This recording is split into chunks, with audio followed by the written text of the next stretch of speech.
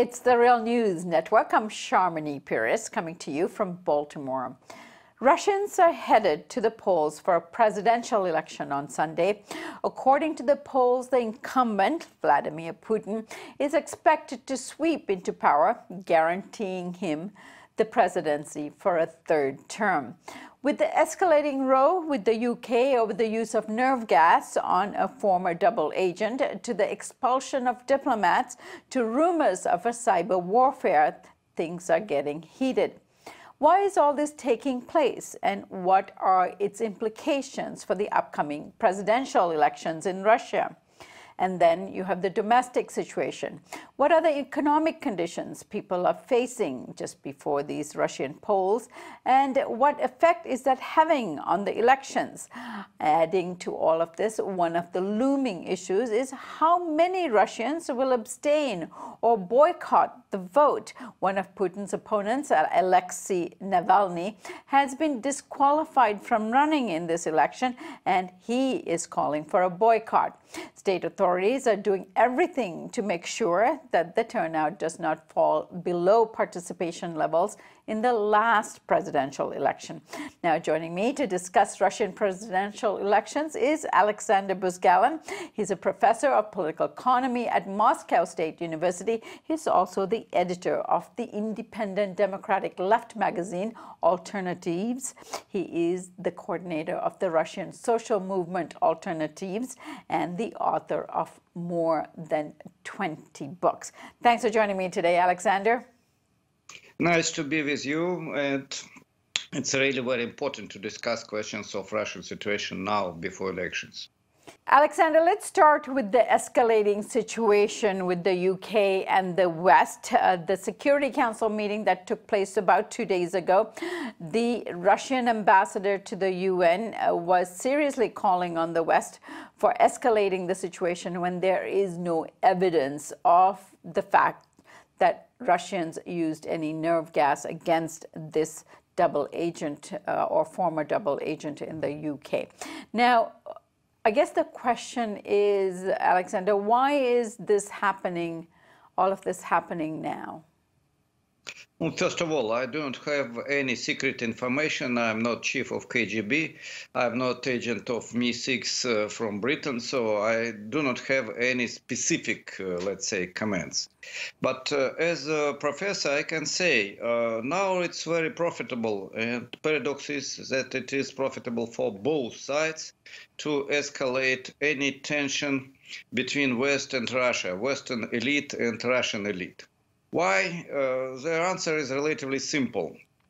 For the Western leaders, NATO countries' leaders, it is profitable to create image of Russia as enemy who can use uh, nerve gas or something else against civilized Western countries uh, and create image of the enemy because now situation in um, main uh, say main countries of Europe is not very stable and it's very useful at such period to uh, create image of the enemy from outside.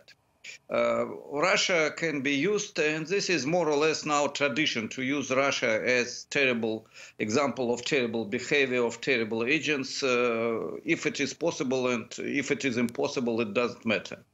Uh, there is very well known proverb you must tell lie, lie, and again lie, and maybe something will be finally uh, among people as commonplace. Uh, the same now. Maybe it was used something against a former secret agent, and maybe it was nerve gas, and maybe it was Russia. But finally, for majority, will be a very simple association. Russia used uh, nerve gas against Britain. Uh, this is the result of propaganda, and such propaganda is typical example, well known from the beginning of 20th century, maybe even earlier. So uh, we have situation when Western attack on uh, Russia uh, creates uh, even more support to Putin inside Russia because the image is simple. It's not good idea to discuss questions of internal contradictions, economic, social inequality, and so on. We must be, we Russians must be consolidated because there is one common enemy, and this is NATO. And NATO is telling terrible things uh, against us. They attack us and it's really true. So West creates um, image of Putin as the only protector and defender of Russia in the terrible situation. And uh, for victory of Putin, uh, Western media made more than any other channel in Russia. Alexander, you've been a critical opponent of Putin, largely because of the way in which he has managed the economy and social issues within uh, Russia. Um, what are the conditions now leading up to an election, and will that have an implication uh, as people go to the polls? Well, first of all, I want to stress that the economic situation in Russia during last years really was not good. It was stagnation. Only in 2017 we had very small growth, 1.5, maximum 2%, according to optimistic estimations of the result of the year. And we still have very high level of social differentiation, the same like in the United States, even little higher. Uh, 16 times the difference between uh, the poorest 10% and the richest 10% of Russian population. And this is official statistic. Really, uh, I'm sure the differentiation is higher. We have more than 20 million people who has less than uh, 10,000 rubles per month income, and 10,000 rubles per month is uh, less than 200 dollars according to official um, cost of dollar and ruble in the market. So the situation is not really positive, and there are a lot of uh, negative features in other spheres. Uh, we had the big critique of policy of our leaders in education, in science, uh, in many aspects. Uh, situation in last months a uh, little bit in, improved, and this is typical behavior of leaders before elections. Uh, some specialists employees in education, in healthcare, uh, intelligentsia received the additional wage as present from president. Uh, it was some promises that it will be better situation with pensions a little bit was increased uh, minimum uh, level of minimum wage and pensions, uh, a few hundred rubles. This is less than uh, five dollars per month, something like that. Very small money, but it was big uh, wave of propaganda that we have increasing of minimum level of incomes and so on and so far. But generally speaking, people doesn't like uh, economic and social policy which is realized in our country. But our mass media created image of uh, President Putin, who is wonderful leader in the sphere of foreign policy, and uh, for internal economic policy, we do not have responsibility of president. This is government who is responsible for bad economic policy. In reality, of course, government is under the control of president, and uh, we have concentration of all main uh, sources of power in the hands of president in Russia, according to our constitution. But uh, propaganda creates image, good president, bad prime minister. And uh, many people believe that uh, the problem is not uh, Putin, but the problem is a bad government who cannot understand what wants a good president. This is the reality. All right. So, what options uh, do people have? Now, I've said that Alexei Navalny has been barred from running in the election. He's calling for a boycott. Um, that's only one opponent, and probably not the most serious opponent to President uh, Putin. Uh, so domestically, who else is running in the election that could pose a serious um, opposition, at least steer the um, the country in a different direction by way of an opposition? So first of all, I want to stress that uh, Navalny was not serious opponent of Putin, and in Russia he was not popular he was mainly created as uh, enemy of president by uh, Western mass media and a few liberal sources of information in Russia. Uh, he doesn't have big support of population, and he has very strange program where uh, you can find mixture of liberal ideas, ideas of Russian nationalism, uh, everything populistic uh, leader, more similar with Le Pen than with uh, democratic liberal alternative, as he is presented in the Western media. Uh, boycott is not uh, idea of Navalny himself. Uh, it is more or less commonplace for opposition. But uh, in reality, there is no boycott of elections, and without uh, rejection to participate in elections or rejection from the biggest parties like Communist Party of Russian Federation and others, boycott is useless, and that's why mm, I am not big fan of this idea. Uh, there are problems that people will not come for the elections because nobody has real interest to the elections it was no real um, opportunity for opposition to present a program and to uh, show that uh, there is alternative to economic and social policy which was realized during last years in our country. Uh, the only real candidate uh, who has a really alternative program is Pavel Grudinin, he is a businessman, but uh, mainly he is uh, presented as leader of collective enterprise in agricultural sphere with the name uh, Lenin Sovkhoz. Uh, uh, so and he represents party. what party, Alexander?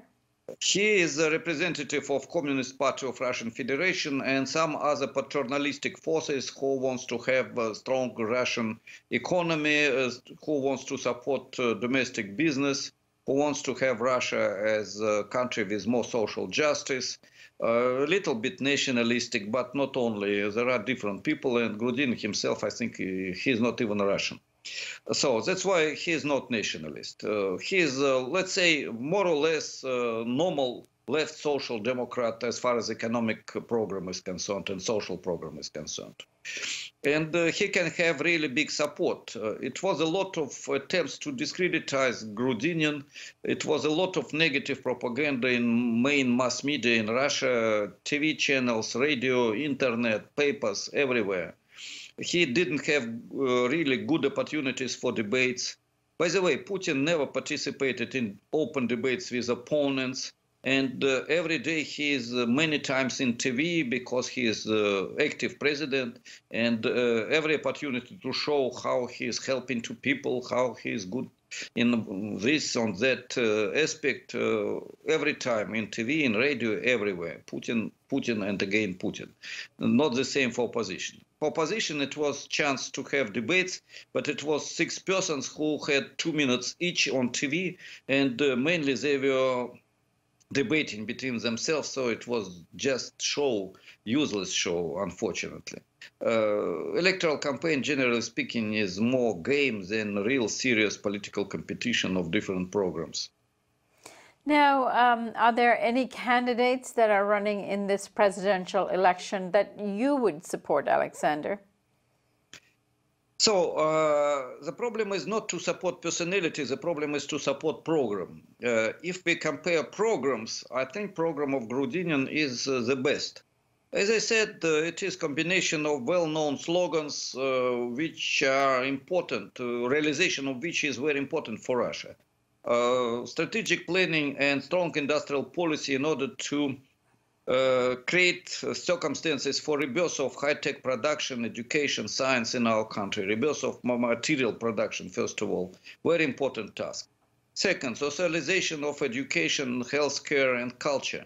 We have terrible trends of commercialization and privatization of social uh, spheres and uh, socialization of these spheres, debureaucratization and decommercialization, free of charge education and healthcare is very important point, and it is one of the main points of Grudinin. Redistribution of wealth, uh, decline of inequality through progressive income tax and so on, also very important point, and I completely agree with this idea.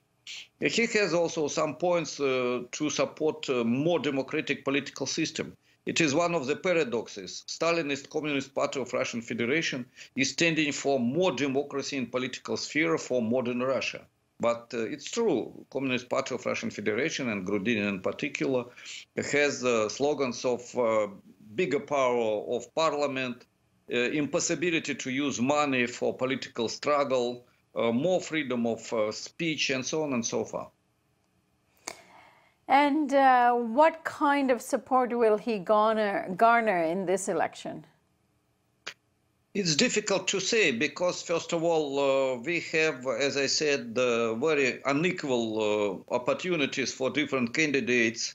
And uh, Grudinin has very unfavorable conditions for, had and has uh, unfavorable conditions for his electoral campaign. Uh, so uh, his real popularity is uh, much bigger than results which will be. Uh, second, I don't know how votes will be calculated. Uh, in Russia, it's very, I would say, popular proverb from Stalin's period. It doesn't matter how people vote; it does matter how votes are calculated. So I hope that results will not be falsified. There will be no big falsifications, but uh, let's uh, see. Uh, and finally, many people are not very satisfied with Grudinin himself as personality, but this is last uh, point from my point of view, not important point from my point of view, but for many people, personal uh, strong behavior, image, and so on is important. And Grudinin was not very decisive guy during electoral campaign, so it can be also a negative factor. I hope he has up to 20% of votes, and according to real popularity of less slogans, he can have much more. But as I said, the circumstances are not favorable for opposition. Alexander Buzgalin, I uh, wish you and uh, everyone in Russia all the best in the upcoming election on Sunday. Um, and I hope that democracy prevails. Thank you, and I hope we will be in contact after elections and we will discuss the results a little later. Absolutely. You'll have that opportunity. I thank you so much for joining us today. Thank you. Goodbye. And thank you for joining us here on the Real News Network.